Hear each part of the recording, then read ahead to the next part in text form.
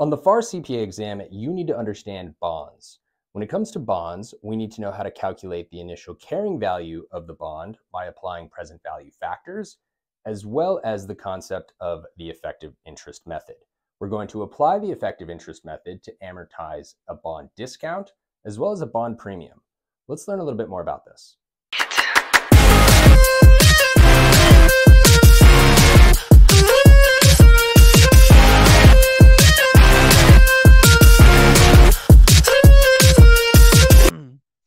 We're first going to look at a bond that's issued at par value. Now, I mentioned before, um, the way we calculate the present value of a bond is we use present value, right? Um, we discount the interest payments and we we discount the par value. I should probably write that as par instead of PV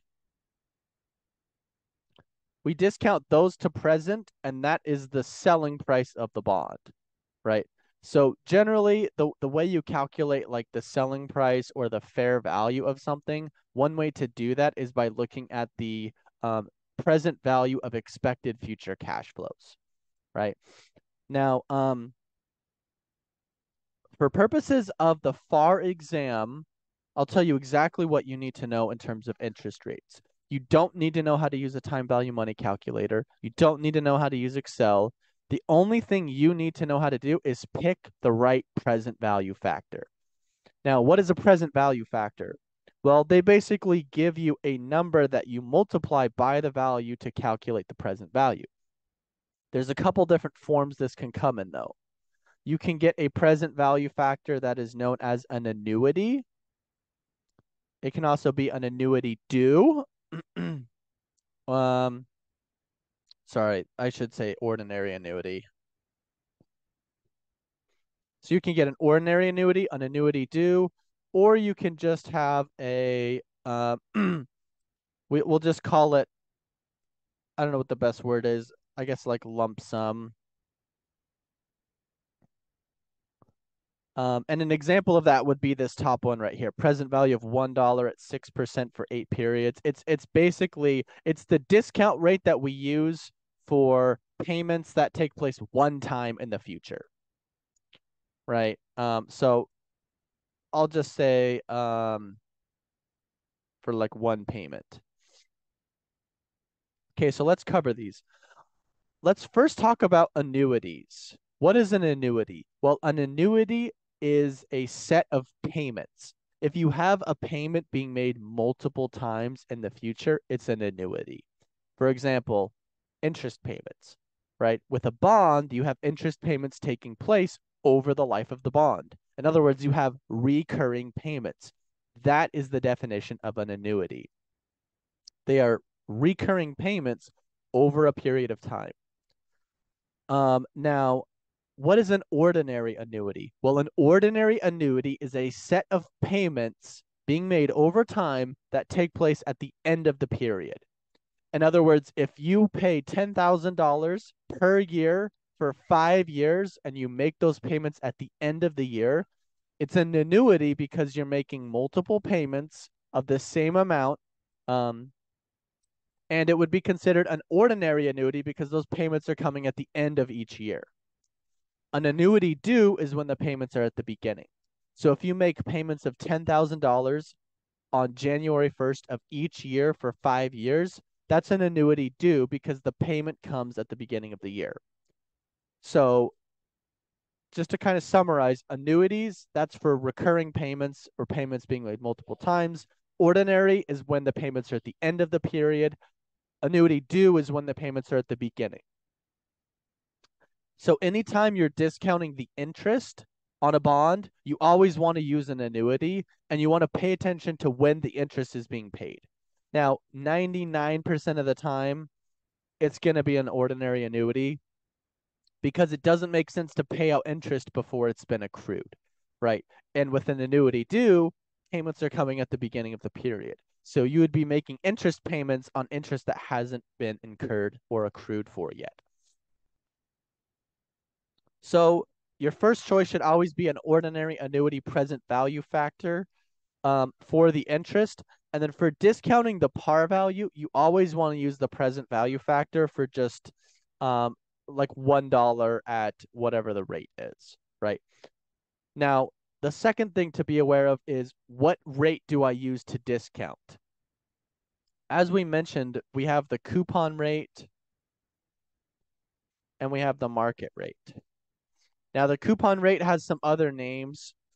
Remember, coupon rate, nominal rate, um, stated rate, those all mean the same thing. But essentially, those are the rates of interest that are being paid on the bond, right? So coupon, nominal, um, and stated, those are all the same thing. It's the rate of interest that the bond pays. When you discount to present value, you have to use the market rate. The, the purpose of the coupon rate is to calculate the amount of interest being paid, but you always discount using the market rate. So when you pick your present value factors, you want to pick the present value factor that goes off of the market rate, not the coupon rate. And then you want to use the annuity present value factor for the interest payments. Um, the final thing I'll say is if payments are made in a in um you know in a, uh, let what's the best way to put this? If, if payments are being made like semi-annually or quarterly, in other words, the payments are not on an annual basis, um, you you need to adjust a couple things. So for your coupon rate and your market rate, um, to get to a semi-annual rate, you divide by two. To get a quarterly rate, you divide by four. And to get a monthly, you divide by 12. Are you struggling to understand some of those really challenging FAR CPA exam concepts? Well, you're not alone, and we're here to help. So sign up for our free FAR CPA exam bootcamp with the link below. It's a mouthful. So essentially, you need to convert your coupon rate and your market rate to match the frequency of payments being made. Um,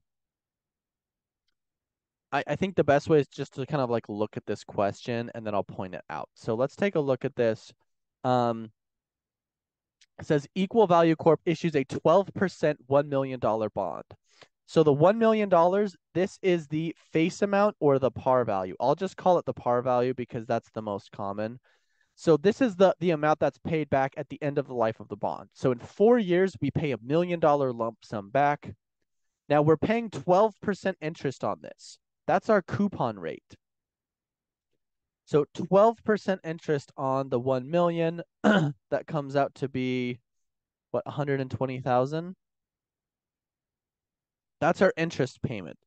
So we use the coupon rate in conjunction with the par value to calculate our interest payment.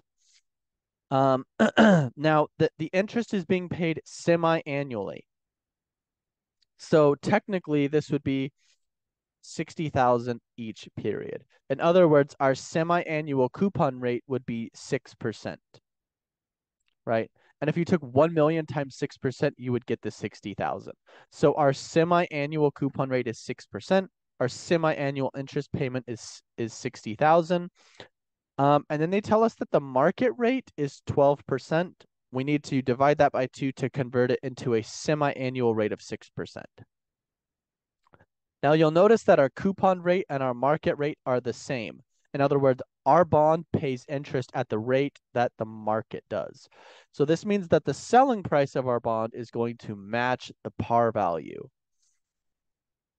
So the way we calculate the present value is we take the 1 million, we multiply this by the present value of $1 at 6%, which is based off of the market rate. The coupon rate just happens to also be that, but we always go with the market rate.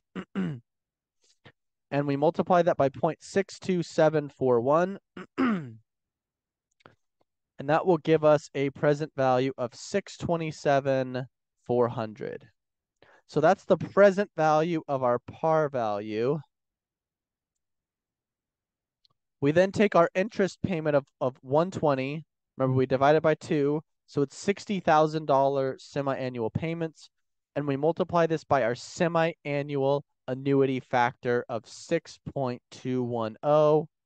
And that comes out to be 372 600 so that is the present value of our interest payments we then will add these two together and that will equal 1 million and this is the selling price or the issuance price of the bond Now notice it matches the par value, right? These two are the same.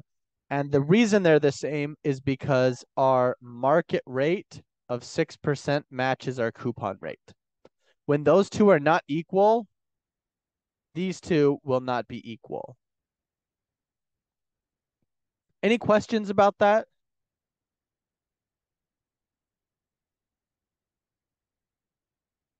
What what are you confused on?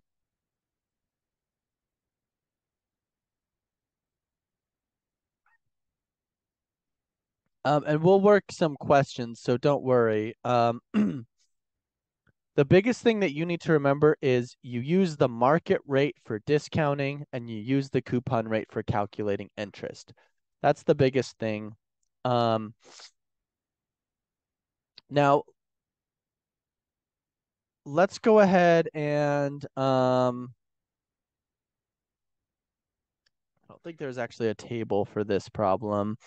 Um, so if that makes sense, then let's move on to discounts.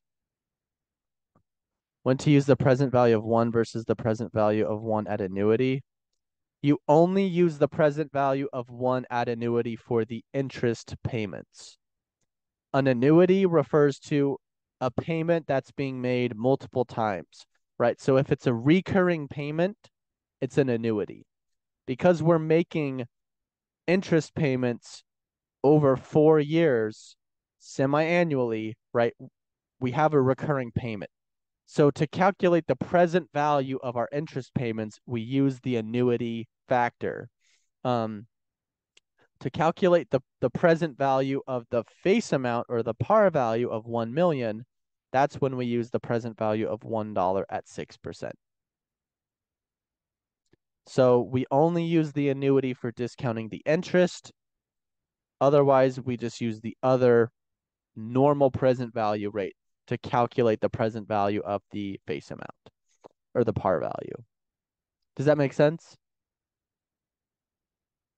Okay. Let's take a look at a discount because this one actually has like an amortization table that we can take a look at. Um, okay, so in this problem, we have a par value of 1 million. Our coupon rate is 12% and the market rate is 14% and um, the period of time is four years. Now, payments are being made semi-annually, so we need to convert some things. If we make payments semi-annually, then that means our semi-annual coupon rate is 6%. And our semi-annual market rate is 7%. And the total payment periods is going to be 8. Right? If I make payments twice a year over 4 years, that's 8 periods of payment. Now to calculate my interest payments, I take my $1 million par value and I multiply by my semi-annual coupon rate of 6%. So my interest payment is 60,000. Now to calculate the present value, I take the 60,000 and I multiply this by the present value annuity factor based off of my market rate. Now, in this problem, it's easy because they give you the present value factors at the market rate. But on the exam, that's not going to be the case. On the exam, they are going to give you a lot of present value factors, and you have to be able to work through them. Um, so, because we're talking about an interest payment, we only want to look at annuities. And it's going to be an, an ordinary annuity, right? Because the interest is being paid out at the end of the period, the end of each semi-annual period, um, since we aren't going to pay interest if it hasn't been incurred, right? Um, We also want to make sure that we pick the present value factor based off of 7%, which is our market semi-annual rate. If they gave us a present value annuity factor at 14%, we cannot use that because that annuity factor is not based off of semi-annual periods. Right? So even if the annuity factor is based off of the market rate, if it's not based off of the semi-annual market rate, it's still wrong. Right?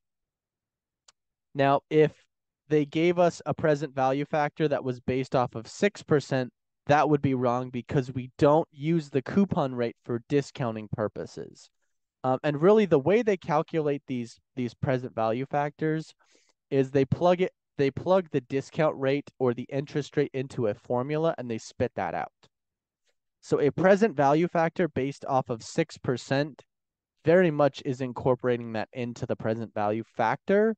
Um, and remember, for the, the coupon rate, that only influences the payment, the interest payment. It doesn't influence any present value stuff that we do.